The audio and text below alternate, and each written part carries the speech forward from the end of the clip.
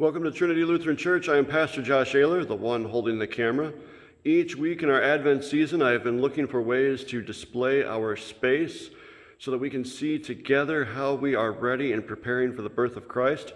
So today we're doing a quick 360 around the space so you can see the candles that are in the windows, all the banners are up, the paraments are ready. We come around to the chancel space, which is the front of a worship and you can see all of that blue. Blue symbolizing royalty, and it symbolizes waiting and anticipation. Here at Trinity Lutheran, we are spending this month preparing to announce hope. We are looking for, forward to the birth of Christ in our lives, God's love entering our lives to become us. We swing around toward the south. We see there are more banners or candles still in all the windows. And even all the way in the back here, we have Advent wreaths with blue ribbon. These go up every year. We are so grateful for our altar guild for all their hard work. As we prepare for worship today, a couple of quick announcements, mostly announcements of gratitude. Thank you to everyone who has been generous so far with our pajama project. If you wish to contribute financially to this great ministry, we do it every year. Please call the office or give online. You are invited to do that. The website is at the very end of this video today at the end of our worship. We uh, continue to receive financial gifts, and those go towards the expenses for this year, and we collect for our ministry that will continue next year. We also give thanks for everybody who gathered in the worship space and worship down below. We scattered ourselves all throughout the building to wrap all of these gifts, over a hundred presents. There is great need in our community, and we are grateful for even in the small ways that we are able to respond. We are also collecting, as you can see, socks, gloves, mittens, uh, all the warm things that our neighbors will need. We're collecting these for Loaves and Fish Food Pantry here in Mount Morris. Clearly, our food pantry gives out more than just food, we give out much needed supplies. So if you have some socks, mittens, gloves, brand new, of course, as you're walking through Walmart or some store, please grab a couple, drop them off at the church, or you can take them directly to Loaves and Fish, and they will be distributed as soon as they receive them. Thank you to everyone who has been generous with our congregation in your energy, in your time, in your finances. Let us begin worship.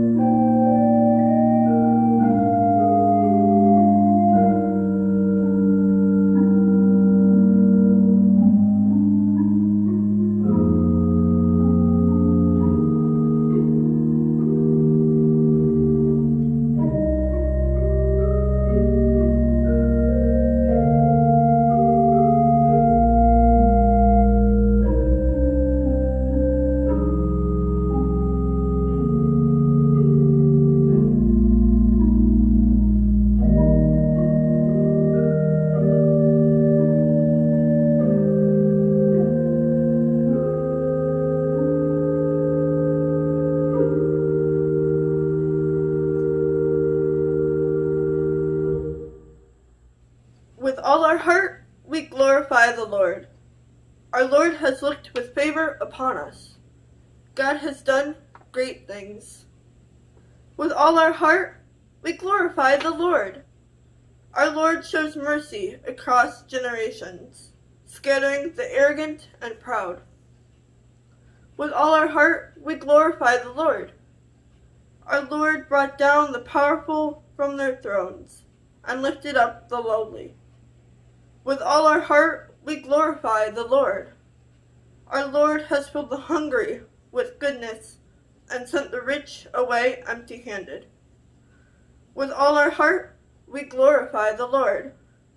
Our Lord has come to the aid of Israel, remembering the promise of mercy.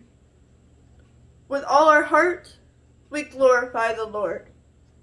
Holy is the name of God.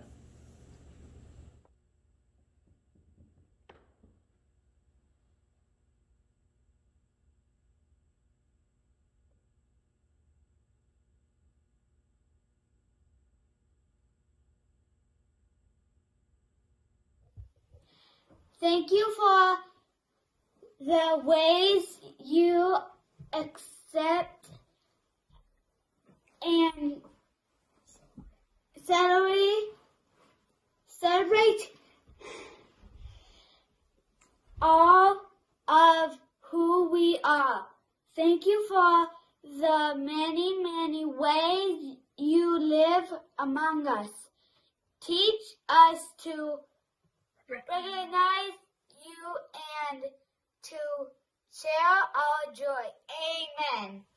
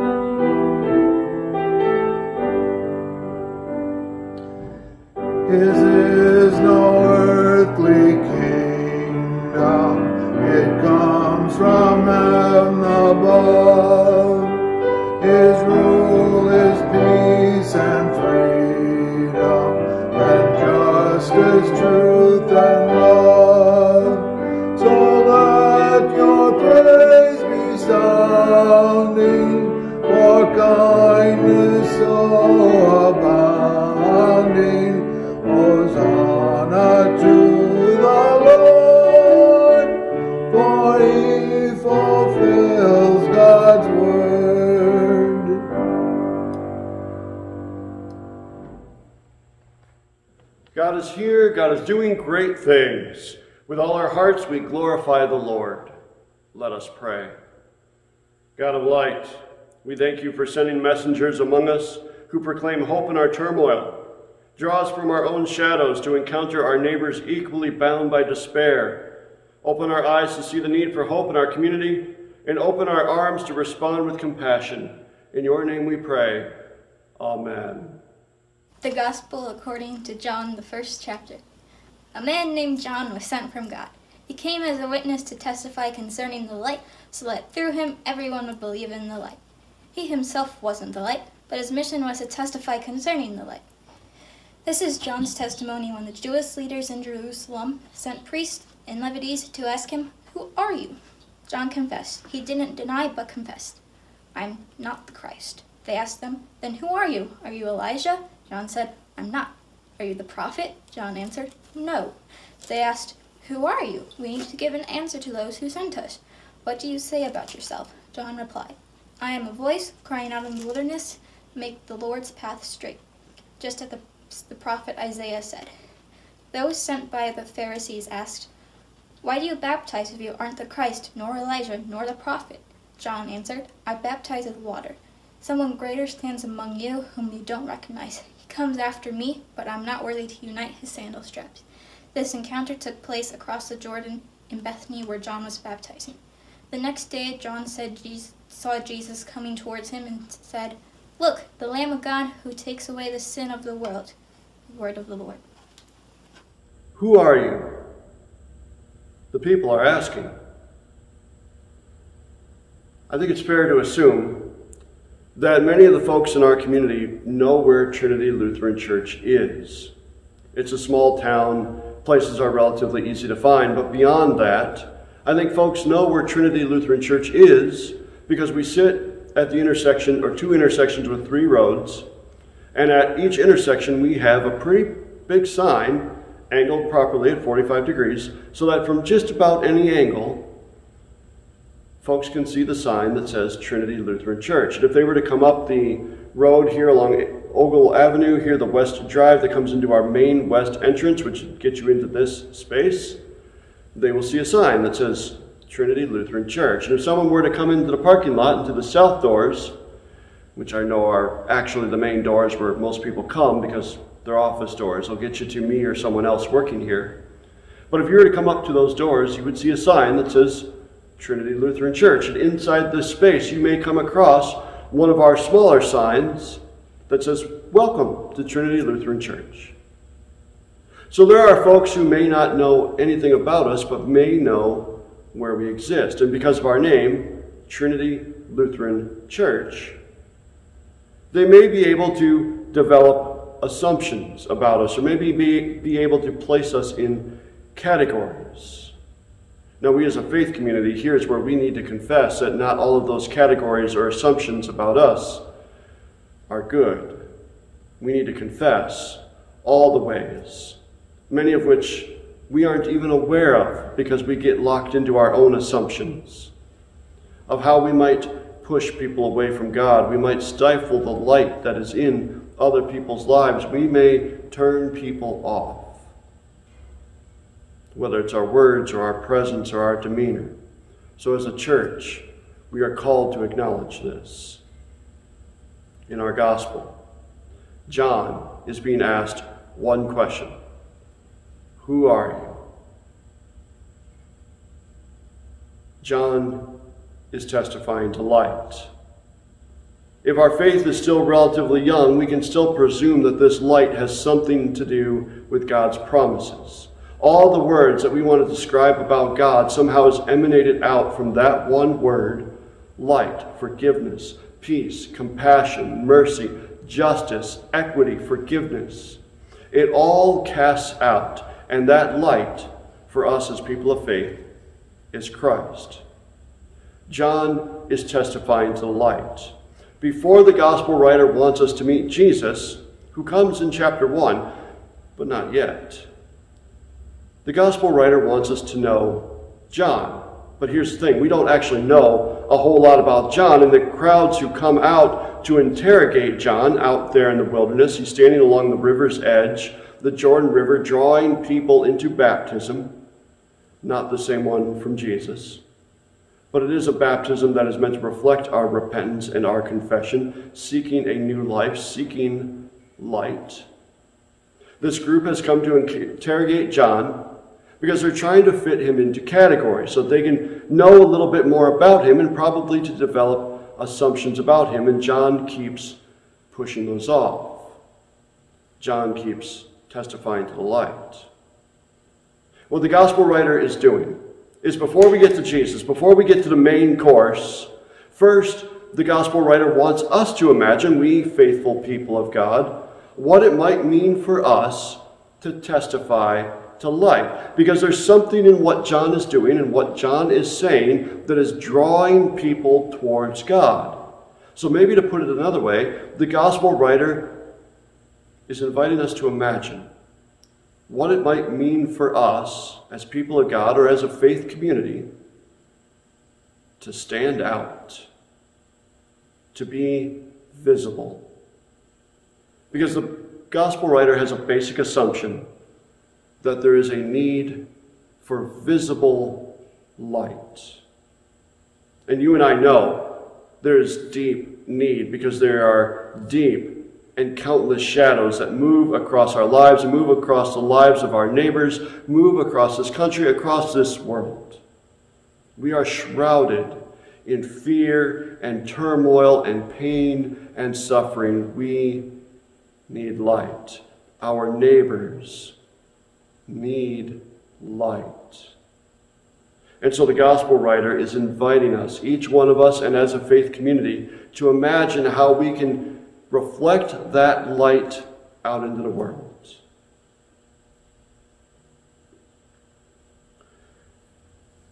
If we're honest with ourselves, this is pretty uncomfortable to think about that we might have to step out of ourselves, that we might have to step out of this space. And I acknowledge in this literal moment, in this pandemic, we are not in this space, but you know what I mean. We know how we make ourselves safe, how we make ourselves comfortable. We as a faith community, we are comfortable within these walls. We are comfortable with the way that we describe God. We are comfortable with the way that we worship God. We are comfortable with the way that we have some to take the lead and others to stand back. We are comfortable with ways of seeing ourselves in this community as we define ourselves. The gospel writer wants us to step out, to step out of our comfort.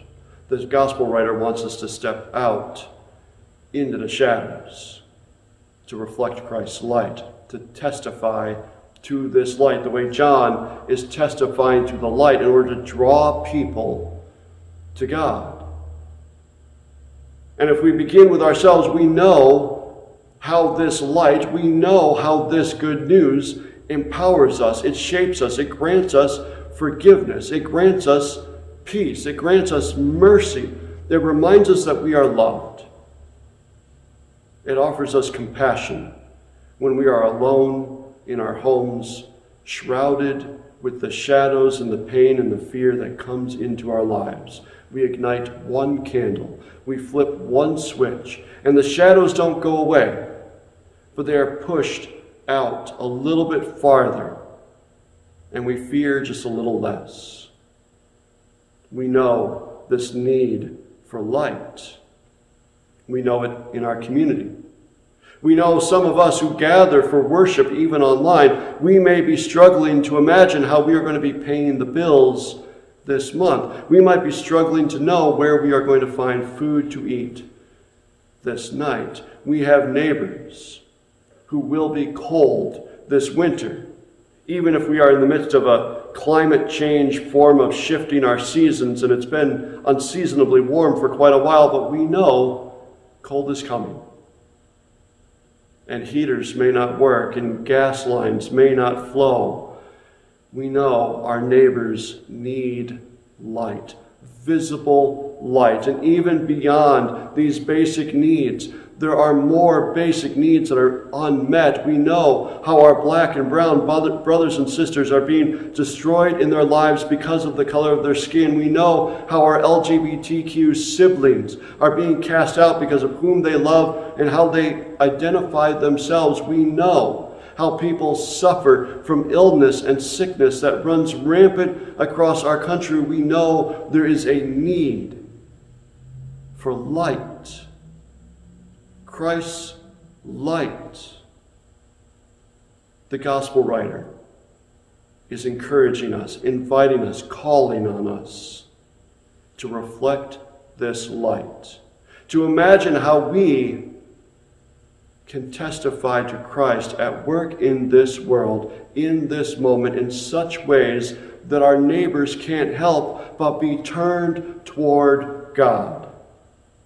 How we might be able to move out into these streets and proclaim a word of justice for our siblings who are being cast out of their homes and who are being cast out and denied their lives. How we can proclaim a word of compassion and love for our medics and our doctors and our nurses who are being ignored when they speak of using PPE and wearing masks and how they are worn out by the endless shifts.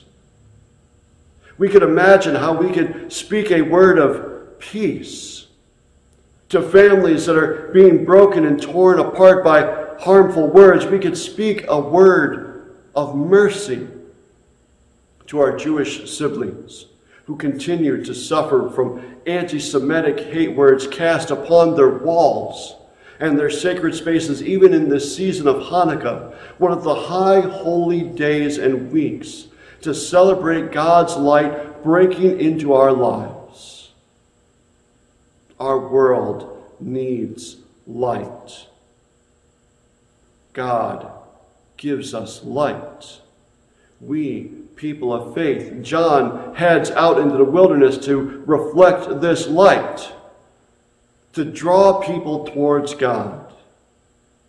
The gospel writer is reminding us of how this light shapes our lives and how we can speak this light, how we can shine this light, how we can reflect this light out into our community, out into our homes, out across this state, this nation, this world. Because light brings mercy, light brings compassion, light brings companionship, light brings justice, light brings hope to remind us that we are not alone, that God dwells with us and within us and in the lives of our neighbors, our co-workers, our colleagues, our people.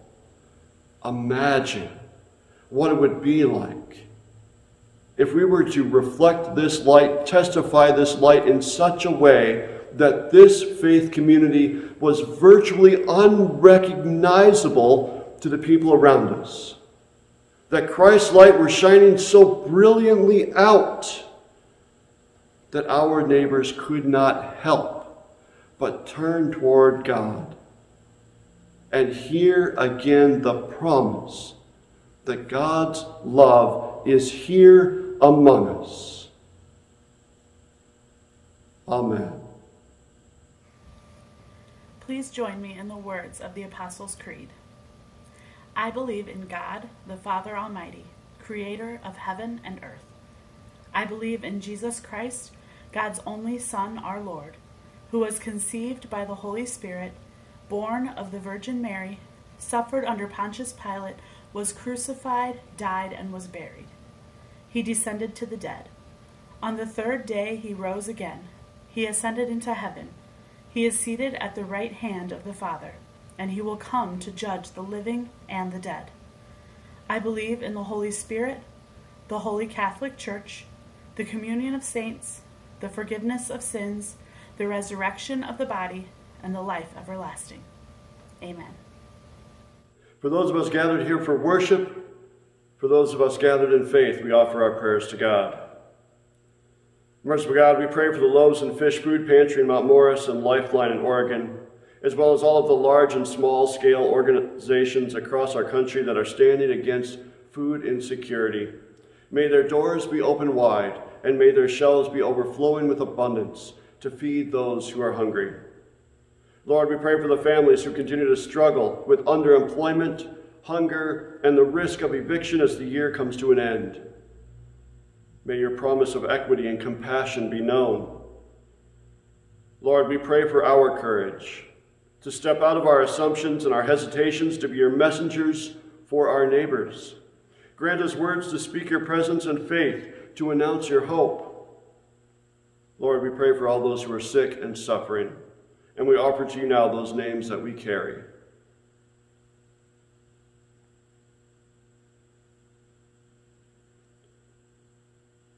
Pray especially for families who are enduring separation while loved ones are in hospitals, as well as the medical teams that are working long hours, seeking recovery for all patients.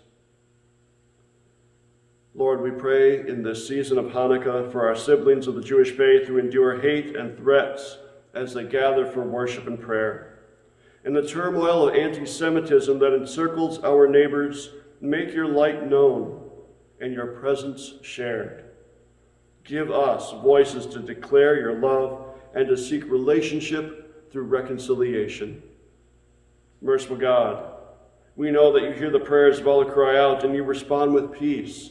Trusting that you are here, we close these prayers as together we say, Amen. The peace of Christ be with you always. Please share that peace with your loved ones. Peace be with you. Peace be with you. Peace be with you. In this holy season of anticipation, as we wait for our Lord's birth into our lives, we give thanks for all of you who have been generous with your time and with your finances, not just to Trinity Lutheran Church, but to wherever you may find your heart. We give thanks for those who have sent in their commitment cards to Trinity Lutheran, as well as those who send in your designated gifts. All this month in December, our noisy offering, our designated gifts, are going towards the loaves and fish food pantry as they continue to respond for those who have food insecurities. Let us pray. Generous Lord, we give you thanks that you offer food for our consumption and goods for our daily living. Receive this offering we return to you and distribute it across the world. Use it to lift the downtrodden to feed the hungry, and to bring justice to our broken world. In your name we pray. Amen. We continue in our prayers. My Jesus, I believe that you are present in Holy Communion according to your promise. I love you above all things, and I desire you in my soul. Since I cannot now receive you in the sacrament, come into my heart in the Spirit.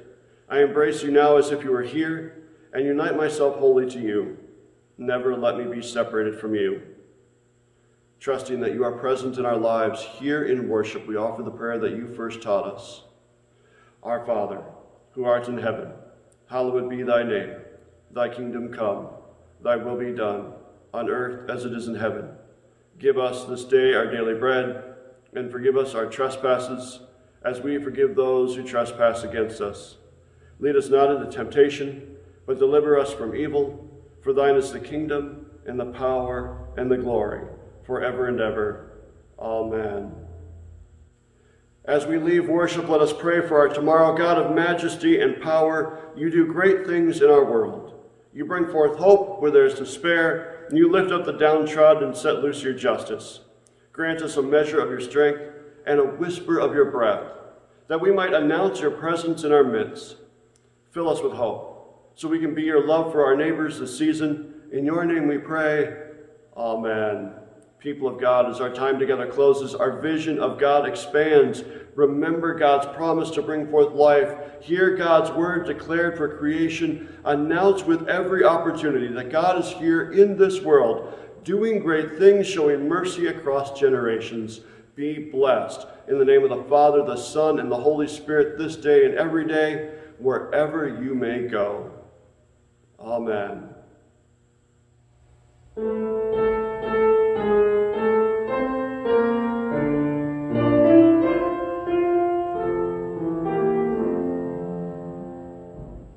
How silently, how silently the wondrous gift is given. So God imparts to human hearts the blessings of his heaven.